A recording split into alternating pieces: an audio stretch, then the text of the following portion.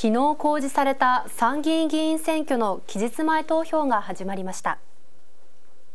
期日前投票は前回の参院選よりも54カ所多い県内134カ所で行われます。このうち金沢市役所に設けられた投票所には開始時間の8時半に合わせて投票に訪れる人の姿が見られました。県選挙管理委員会によりますと前回の参院選の投票率は47%で投票した人の4割余りが期日前投票でした。今回の選挙にはご覧の6人が立候補していて岸田政権の評価が問われるほか円安などで生活を直撃している物価高騰への対策や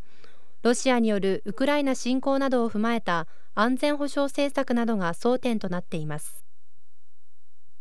一方今月19日に最大震度6弱の地震があった珠洲市内でも期日前投票が始まりました。有権者の思いは？厳しい状態状態やけどねもう切羽詰まった気持ちがこういう行動に現れるか分からんけどね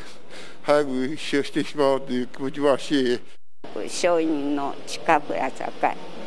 もうダメ全然ダメ手つけられないこれだけしましとかな。長期ご一票って言ってらしたか、